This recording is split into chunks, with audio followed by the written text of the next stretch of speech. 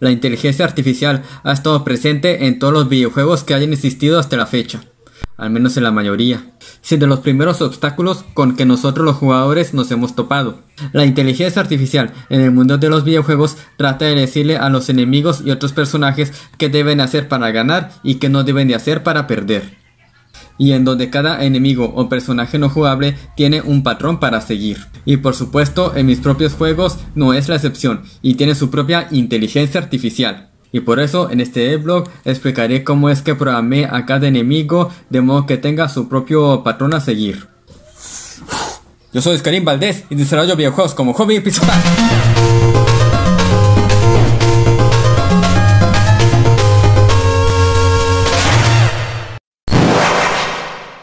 Y bueno, antes que nada, tuve que lógicamente definir los sprites de, los, de cada uno de los enemigos con sus respectivas animaciones. Aquí está el caso del primer enemigo fácil, el del Blue Aquí ya sus respectivos styles, de acuerdo a como los definí en el programa del WSHR, justo como están acá. Con su respectivo, con su respectivo tilde, como quieran llamarle que está con así así con cada una de sus animaciones. Lo mismo para el resto de los enemigos.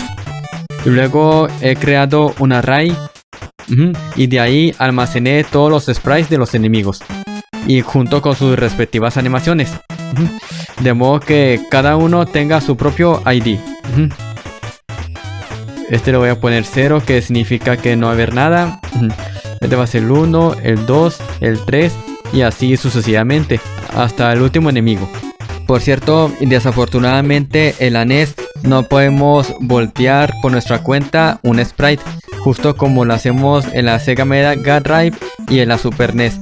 Así que teníamos que hacer otro sprite aparte, ¿sí? De modo que sea uno para cada dirección. Aquí vemos aquí el sprite del bully volteado hacia la izquierda y el sprite del bully volteado hacia la derecha. Mismo también con sus animaciones. Aquí cuando esté golpeando la izquierda y aquí cuando esté golpeando la derecha. Ahí cuando aquí cuando ya empieza a caminar para la izquierda y aquí cuando empieza a caminar para la derecha. Y así con el resto de todos los demás sprites. Bueno, este es el procedimiento para mover al bully. Aquí vemos que si su dirección es mayor que cero, entonces que su eje X vaya aumentando de modo que se vaya por la derecha. En caso contrario, es decir, que sea igual a 0, pues ya que disminuya y se vaya por la izquierda. Aquí estas variables son para hacer cálculos fijos con el mapa. Ya ven que está hecho en cuadrícula, en píxeles de 16 por 16. Bueno, aquí ya más lo dividí entre 16. Aquí justo como lo expliqué ya en la segunda parte del tutorial de cómo hacer un juego de NES en lenguaje C ya está aquí este procedimiento ya es para calcular la distancia en caso de que desee que el personaje que empiece ya a golpearlo ya aquí poniéndole una variable que como que se use como interruptor que va a ser igual a 1 que ya aumente su tiempo de que dure el ataque y ya aquí llame al procedimiento de lastimar al jugador. Ya en el caso de que toque el suelo aquí se hace con la colección de objetos sólidos de que es el ID que es 61, que ya se detenga su caída. En caso, de, en caso contrario, pues que siga cayendo. Ya que mantenemos fijo el eje Y para que ya haga muy en contacto con el suelo. Ya por último aquí ya como, como dice, cambia de dirección a chocar las paredes. Es decir, es esto, ya calculamos fijamente si no hay algún objeto sólido en cuadrícula que, que sea por la izquierda o por la derecha, que ya cambiamos en la variable de la dirección. Luego tenemos aquí el procedimiento de mover al hombre a jumper, el hombre saltarín, el del brinca brinca, ya saben. Bueno, aquí igual, si su dirección es igual a 0 igual a 1, pues ya que se mueva según donde esté volteando. Aquí, ya contra, aquí abajo ya controlamos su caída para que no caiga muy rápido. Aquí ya corramos la fricción de la gravedad. Aquí igual, las variables en cuadrícula. Para, para calcular las coordenadas en cuadrícula. Así como el bully. Igual aquí cuando toque el suelo, que ya su velocidad Y sea menos 18, es decir que, que rebote.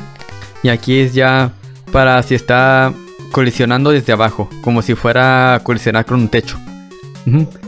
Que ya no sé, que ya igual que controlemos el rebote. Y aquí las colisiones laterales. Eh, si hay algo, si hay objetos sólidos a su izquierda, pues ya este, que voltee para la derecha. Y aquí en caso contrario. De Blue no hay mucho que decir, ya que es uno de los enemigos más simples. Aquí nomás lo de la dirección, a dónde se va a ir, donde está volteando. Aquí nada más las variables para calcular la cuadrícula en el mapa. Aquí ya para controlar su caída. Aquí ya en caso de que toque el suelo, que se detenga, sino que siga cayendo. Y aquí la colisión lateral, cuando esté dentro de la pantalla, que cambie de dirección. Esto. Para el caso del globo, nomás lo programé para que siga al personaje. Ya siempre y cuando no haya objetos sólidos estorbando. Aunque probablemente lo voy a quitar eso. no sé ustedes qué opinen. Y luego para el disparador, Aquí usé dos variables, una para el temporizador y otra para el interruptor. Depende, aquí depende si está dentro, si va a salir o si ya está afuera. De acuerdo con el temporizador. Aquí si ya está dentro de la pantalla, pues ya que el temporizador inicie desde cero. Y aquí dependiendo del temporizador, ya ponemos el, la variable interruptor en switch uno, que si ya va a salir. Dos, si está... Si saca ya la cabeza. Y tres, si está completamente afuera. Para, y para empezar a dispararnos. Que aquí usé la, la variable esta para... Solo para poner dos balas en pantalla a la vez. En caso de que haya dos disparadores. Aquí ya puse el sonido. El tipo de disparo que es, en este caso una bala este es para indicar si está activo dentro de la pantalla. Aquí ya definimos la dirección. Si el personaje está a la izquierda, pues que dispare a esa dirección. Hacia la izquierda, en caso contrario hacia la derecha. Aquí ya su posición X y su posición Y. De la de la ubicación del personaje. Ahí mero está. Lo ya cuando termine que ya el interruptor ya se regrese a cero. Y el temporizador se reinicia. Aquí este es el, procedimiento para disparar las balas que te ambienten los enemigos. Aquí si es cero o algo similar, pues nada más que dispare que vaya en línea horizontal, así dependiendo de la dirección donde vaya. Ya los demás son los que te ambientan los jefes, ya sean unas piedras o bolas de nieve, algo así. Solo aquí solo se variables recicladas para no usar unas nuevas y así no ocupar más espacio. Pero sí son como cálculos físicos, hagan de cuenta. Y ya aquí puse ya el procedimiento de mover al enemigo. Aquí ya dependiendo del tipo de enemigo que sea. En caso de que, sea uno, es decir un bully, y llame el procedimiento de mover bully. Aquí en caso de que sea 9, que mueva ya al saltarín. Sí. Aquí, la razón por la que aquí está el 9 es porque del 1 a 8, recuerden que son los sprites del bully. El de estar parado, el de caminar y el de golpear.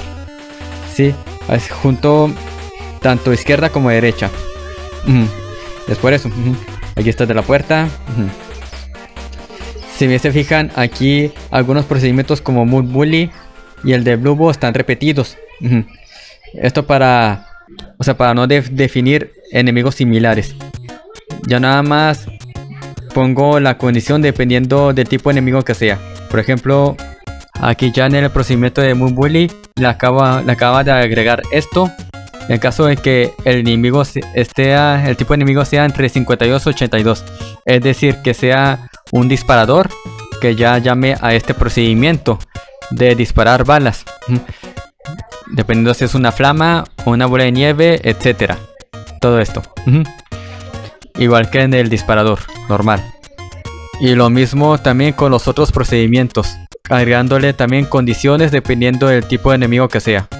Como aquí en el caso de Blue aquí sí el tipo de enemigo que es 84, que es una llanta corriendo muy rápido. Aquí ya le aumenté el eje X, sí, que que se mueva a 3 píxeles, es decir, que se vaya más rápido que el, enemigo simple. Mi juego de Oscar Santos para PC también tiene su propia inteligencia artificial. Aquí vemos cómo los enemigos se suben a las plataformas. Ya nada más programé en caso de que haya una plataforma por encima de ellos y a la vez enfrente que su velocidad vertical sea negativa, de modo que brinquen y alcancen la plataforma. Y bueno, sobre todo, espero que este video les haya sido de su agrado y les haya sido de mucha ayuda para algunos, y así puedan para programar su propia inteligencia artificial, ya sea para bien y no para mal. Si les gustó este video, pues ya saben, pulgarcito para arriba y si les gustaría ver más tutoriales como los que he hecho u otros consejos, activen la campanita. No olviden también seguirme en las redes sociales y también en Discord. Sobre todo para dudas, sugerencias o para pasar el rato. Yo soy Karim Valdés, nos vemos en la próxima. Bye.